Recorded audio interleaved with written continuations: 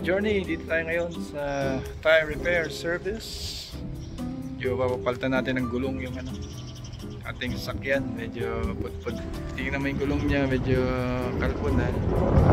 Uh, kailangan nating uh, so dito tayo ngayon sa Tobis Tire Center para bigyan ng apat na gulong ang ating sasakyan. Okay, so tambay muna tayo dito. Antayin natin matapos yung ating uh, pinagagawa. So ayan, may coffee machine. Wala nga lang cups, hindi ako makapagkape. So ayan yung nga natin.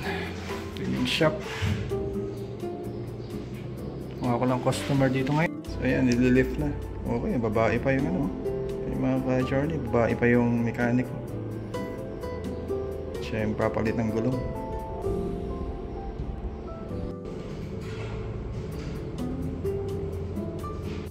Kabit na isang gulong. Ayan.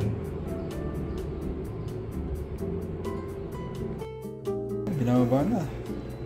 Tapos na, mayroon na tayong bagong brand new tires mga ka-journey.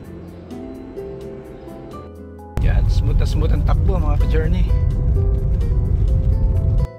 So ito na yung ating bagong gulong. So, apat na bagong gulong. Very smooth siya. Very, very smooth siya drive. So maganda talaga mga ka-journey kung ano.